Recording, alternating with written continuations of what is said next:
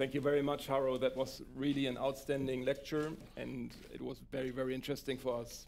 Congratulations to all the great ideas you had in your last years and in overall your whole career.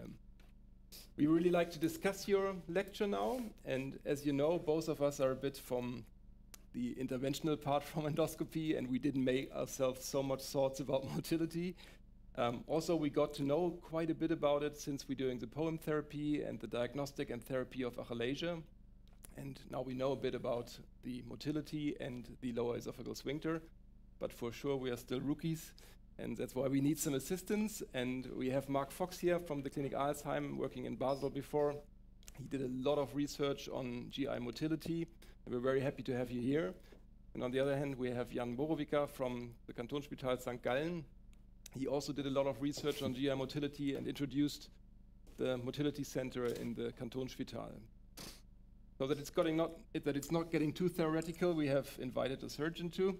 This is Paul Schneider, very happy to have you. For sure, you're not thinking so much about how your patient burps, but for sure, you know. For sure, I think about that. For sure, for sure, you know how to select the right patient or the indication for your patients on doing a surgery on a reflux patient. Thank you for coming.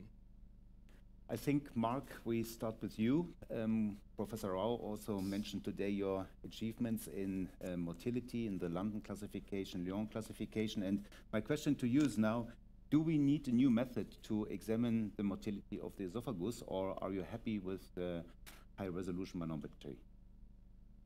So, I mean, I'm, one thing I'm completely in agreement with on. One thing I'm. Is that working? Does it matter?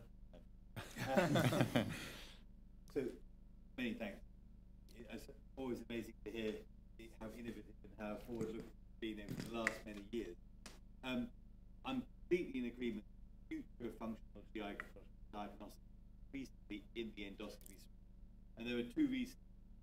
One is that's where gastroenterologists love to be more than anything else. And the other is patient take test. so, but there is, there, there, I mean, there is clearly room for both. But I, I'm actually played with something similar to this, what you're describing about 10 years ago with when I was working with Werner Schwizer, University Hospital and these patterns, we didn't fully understand them, we didn't have the technology the same way that you had, but I'm completely convinced you're, you're onto something this flat pattern and the, and the fall off pattern.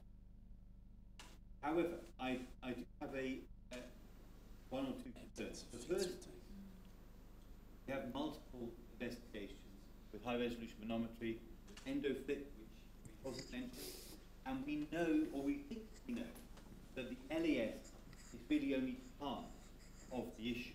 Yeah? And what, what, what I want to push you on is how confident be with your test as a diagnosis of GERD, or is it simply part of the whole work? I mean, obviously you have sizes, you have, have symptoms. Our, our, our studies show that LES, there's no one diagnostic method that use, manometry, EndoFLIP, whatever, gives us all the information that we require. Do you think take it further forward, or is it still just part of a whole puzzle, like Professor Rao was saying earlier? Yeah, thank you so much. It's a, a great, great point. So uh, I think uh, uh, uh, it's a good suggestion that we have to compare the results of the EndoFLIP, that is uh, evaluate the distension, distension over uh, lower esophageal sphincter, and then our study, so intragastric pressure, EPSIS demonstrate the uh, reactive contraction competency of the lower esophageal sphincter. So uh, maybe a little bit different. So at, at, this moment, I have no answer to it. So it's, it's a good suggestion that we have to, we have to uh, study uh, the results of uh, EndoFLIP and also EPSIS. I guess what I'm trying to push at is, is this ever going to be enough to cure the diagnosis no, no, no, no, no. It's a, it's a, of course, of course, of course, GERD is a very complicated disease. So uh, it's not simple, but uh, uh, as you mentioned, so it's a, just the first time endoscopy checkup. So we have to do, um, we have to exclude the uh, esophageal cancer, gastric cancer, so we have to do endoscopy checkup. So at that time, we can get some information, more than now. But the question other way around, could you exclude a reflux disease with your method? Uh, no, no, no, I don't think so. Mostly, yes. So a typical, typical GERD patient had the uh, flat pattern. But the uh, borderline, borderline cases, it's very difficult to evaluate. So of course, the uh, um, uh, GERD is uh, uh, closely linked to the uh, LES relaxation. So maybe I think the nighttime mostly. but so it's a different situation. So I don't think that these studies uh, cover all. I don't think. But, but so far we never evaluate like, like this. So uh, we can get uh, additional information by this method. I'm, I'm sure it's a, a shortcut to a lot of information that we take a lot of time and effort to get to in other ways. Um, the, uh, the one, uh, the other point I was I got it down with symptoms, of course, That's one thing that one can't investigate under sedation. Mm. And so, and of course, the, in the functional GI lab, atypical is typical, as I'm sure Jonas would agree. You know, most of the people that we see haven't responded to PPIs, have unusual symptoms. I was talking to Paul yesterday about laryngopharyngeal reflux and complex cases. We need to build a case, don't we? Uh, but I think wonderful work. Again, a question with the LES, with the scope holding sign. So you are sure that uh, what we see during the insufflation, this contraction, is the LES? Mm -hmm. Once you mentioned that this can move also more up, is it then really the LES uh -huh, or? Uh -huh. So uh, thank you very much. It's uh, another uh, interesting point. So uh, of course, you know that some GERD patient had the erosion. It's a mostly a linear erosion starting from esophageal gastric junction and the, uh, moving upward. So my question was, is, so, so what's the difference? A long erosion and it's very short. So uh, for example, Los Angeles A and B, the erosion is located just distal esophagus, but some patient grade C, D, that are going up to the high. So what's the difference? So it's quite interesting. Uh, today we have a limited time, so I, I don't show the case, but uh, in a little flex, and then so insufflate the stomach. So in the case of a grade A and B uh, Los Angeles uh, erosion, it's a scope holding sign located at the level, original level, close to. And in the case of a long erosion, it's a scope holding sign is going up. So maybe I think, so after losing the LES uh, normal contraction, so esophageal body replace it work. So try to avoid um, going up the uh, reflux, the, uh, reflux fluid. So that is a the, just a hypothesis, but uh, some patients is uh, we can uh, understand what's happened in this patient, in each patient. So just, just a hypothesis, There's no evidence, no evidence. There, there, is, there is indeed evidence that the esophageal tone responds to reflux to try and protect. Of course, that would be most important in where the LES not. Paul, I think you had a comment on that. Yeah, I, I, thank Thank you so much. I have a lot of questions, but I, am sure I cannot ask them all. I'm very convinced, uh, Haru, that uh, adds additional information. It's not the competition. I don't think it's competition because uh, even I have to tell you all your fancy tests, so you cannot answer all the questions because there are all those reflux patients, those patients and so many, many different patients that even you, with all your fancy tests, cannot answer. and I'm sure that he can add uh, a bit uh, more information uh, to that. Uh, uh, but uh, some more specific questions with your three centimeter rule in, in the actual deviation. I mean, first of all, um, you know that, I mean, I observed this many times, you know, I have a esophagogram and I have endoscopy. And there's a huge difference because the endoscopist describes a huge hernia and the radiologist describes almost no hernia. He attempts to describe a hernia because he knows that the gastroenterologist described a huge hernia. So, to, to, to, so, so, so what about this, uh, this three centimeter rule? Do you, can you comment on that? Yeah, yeah. So uh, I, I think uh, I, I, I, I have no idea the uh, radiologist uh, diagnosis, but but so um, endoscopically, and, uh, we can identify the junction and the squamocolumnar junction as well, EGJ, and the uh, uh, hiatus. Uh, we, anatomically, we can very well recognize. So that's the reason why. So endoscopists uh, they can catch more and more small hiatal hernia than radiograph. I'm, I'm sure you're right because because when the radiologist describes no hernia and, uh, and uh, the endoscopist describes the hernia, there is a hernia. Uh, uh, when you operate on them, you, you can see they are small. They are less than uh, three centimeters, but they are, but they are there. But one, one thing maybe you can answer and you can answer uh, is you, we get these patients, Otmar, you, I'm sure you have seen them too, uh, uh, we get these patients, they have reflux disease, you know, we have your uh, um, pH metry, and it's clear they have a DeMeester score of 30, they have some more or less uh, positive symptom association, and then I look at the manometry. Manometry is, uh, is, uh, is a big black box many times, and then I, I always look, I don't look at the fancy propulsive patterns and so on, but I look at the lower esophageal sphincter pressure, and then there is a regular, normal lower esophageal sphincter. So, do, do you think, do you think that, uh, because this is also only, uh, uh, you know, a small time period where you, where you observe, do you think you can even uh, better uh, uh, discriminate lower sphincter dysfunction? in some of those patients than uh, manometry?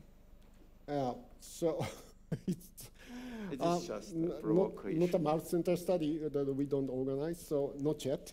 So um, I think my impression, but uh, um, we can we can we can observe simply the contraction of the LES and then the release of the gas as a burping.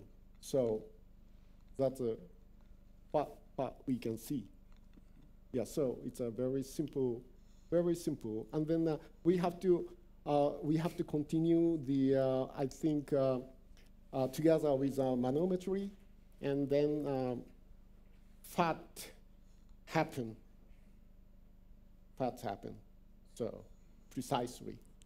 And like I said, I think that any one measurement of lower esophageal sphincter function is not adequate to diagnose reflux disease. And the Lyon consensus is indeed that we effectively continue to do investigations until we're sure that we know going on. And I think this is appropriate. In medicine, that's what we do all the time. If you're not clear about a diagnosis, then you do another test, or perhaps you just follow up a few weeks later. So I think you know every, anything that adds to the pattern is really helpful.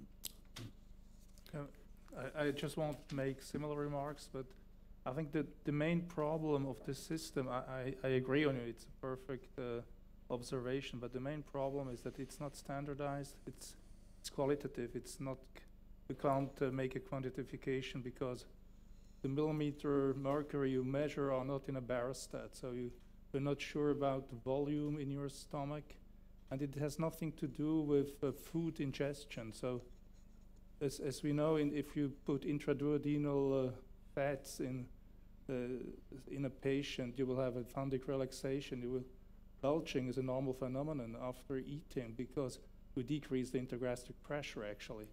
So, and the real reflux problems comes one and a half hour after eating. So I'm not sure that this is physiology what we're looking at. It's just a distension phenomenon of the lower esophageal sphincter, but we don't know what happens actually when the patient is eating. So that's why we need the symptoms. We need the whole story behind, and, and the intragastric uh, air insufflation might be a hint, but uh, certainly it's not physiologic test. That's true, but I think he said very nicely, it's a provocation test. Yeah, I, I Yeah, agree, yeah. but uh, we have stopped with provocation tests uh, for spasms. We did prostigmine, we did a lot of simulation tests. We ingested uh, acids to see if, if it hurts. So I'm, I think it's it's good, you know, but I'm not sure that we we get a step further.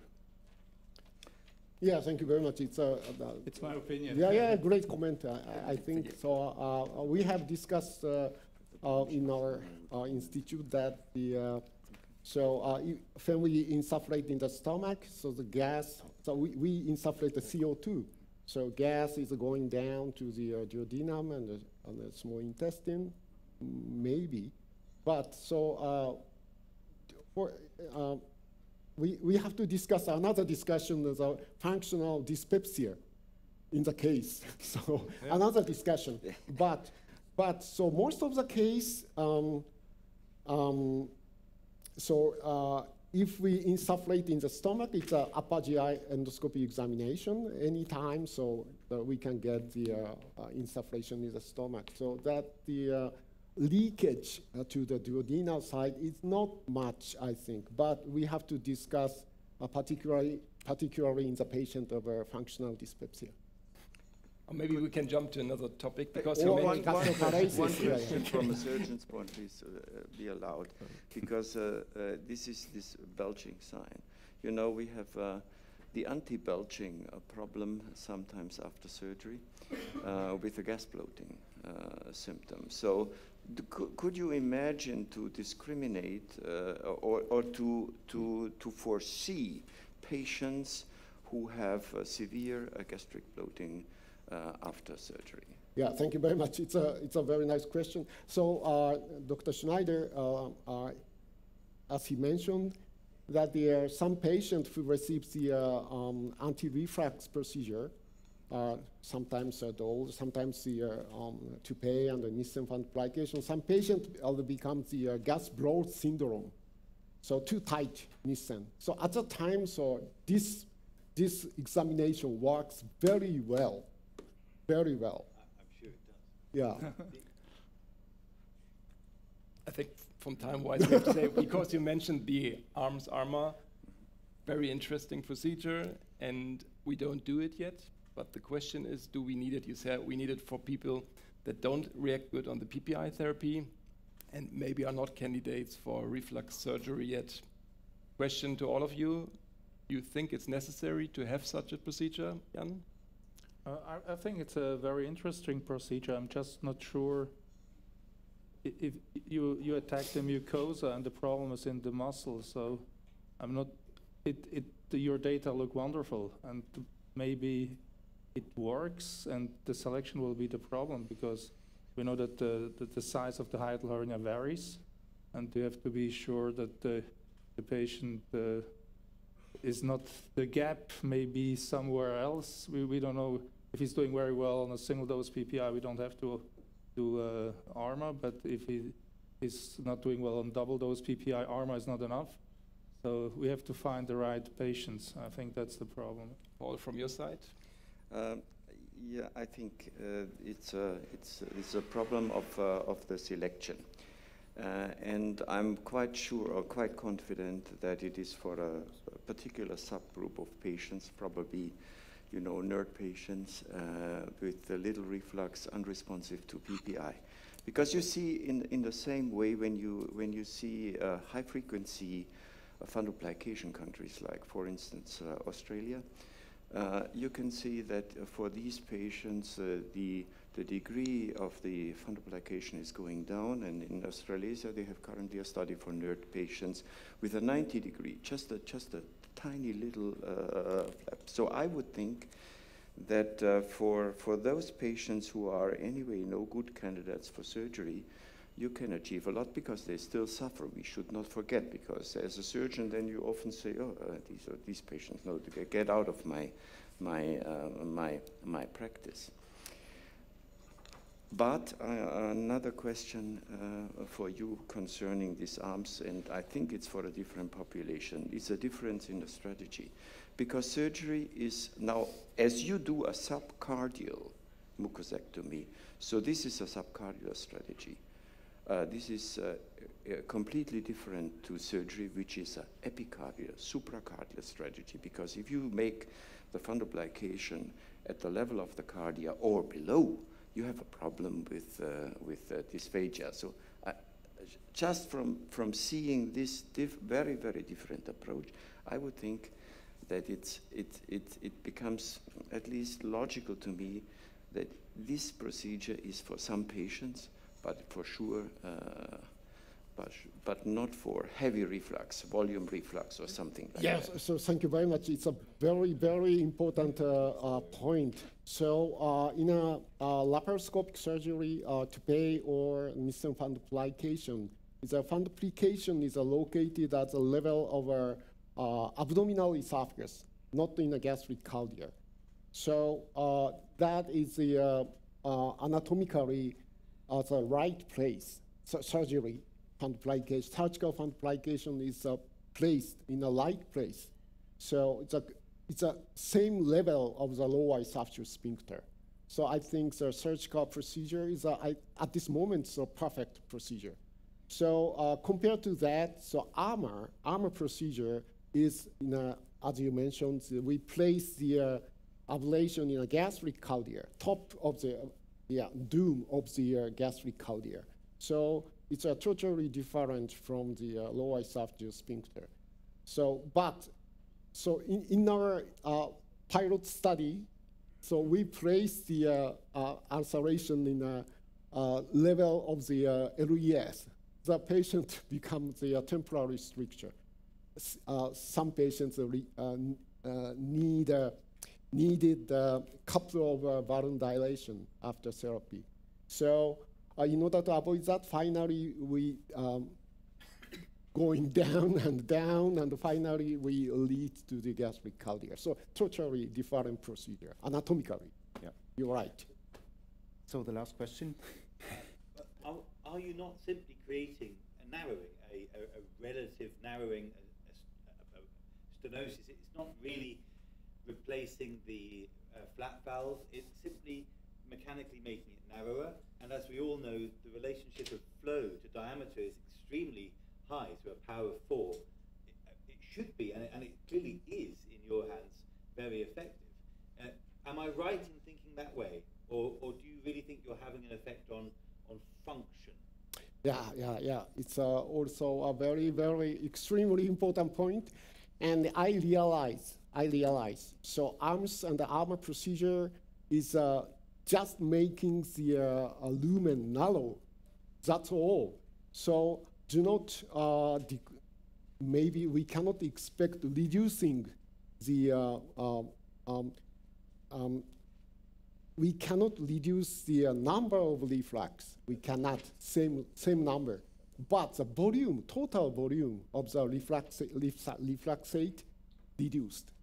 That's a mechanism. So not a 100% uh, effect, but so-so. Better than nothing. so we are at an end of an outstanding session, and Harry, we want to thank you. You showed very nicely with EPSIS the flat pattern and the uphill pattern. We are here in Switzerland, and I think the therapeutic goal is to get the uphill pattern. thank you very much.